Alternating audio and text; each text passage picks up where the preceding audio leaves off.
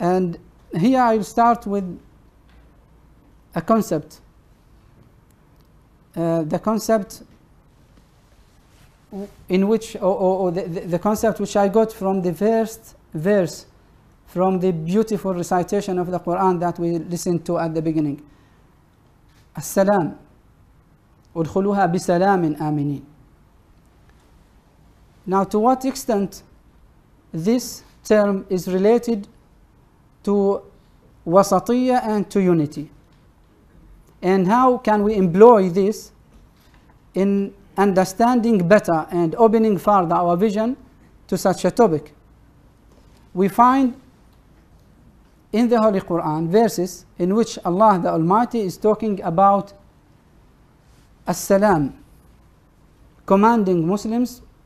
to enroll themselves, to enter the gates of Silm and Salam. This is found in the verse يا أيها الذين آمنوا ادخلوا في السلم كافة. In this verse, Allah the Almighty is calling upon all believers to enroll themselves into the gates of Silm. All of them, all together, kaffa, in all sorts, all elements that will lead to salam or silm. And the same concept also can be found in another verse in which Allah subhanahu wa ta'ala says, قد جاءكم من الله نور وكتاب مبين يهدي به الله من اتبع رضوانه سبل السلام ويخرجهم من الظلمات إلى النور.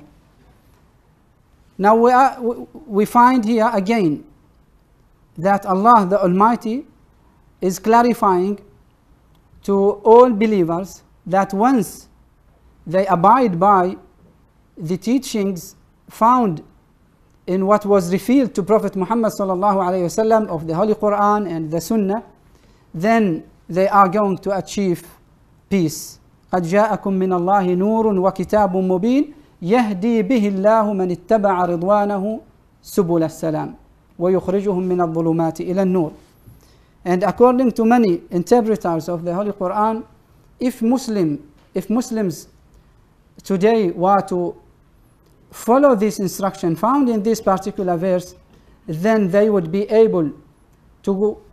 eliminate many of, the, of their disagreements and differences if they are going only to follow these two verses. What is the connection between as-salam found in the first verse, ادخلوا في السلم كافة, and the salam mentioned in the second verse قد جاءكم من الله نور وكتاب يهدي به الله من اتبع رضوانه سبل السلام the connection is وسطية that's my claim the best definition for وسطية is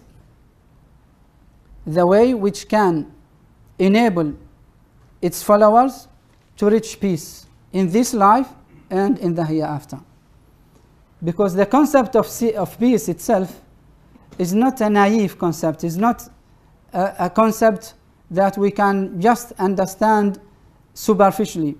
but it needs a profound thoughts to understand that once we spread peace on this life,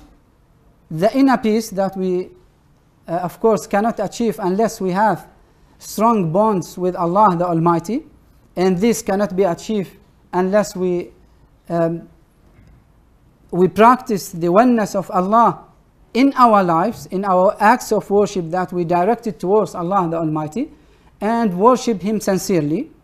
which again will lead us in, in the conclusion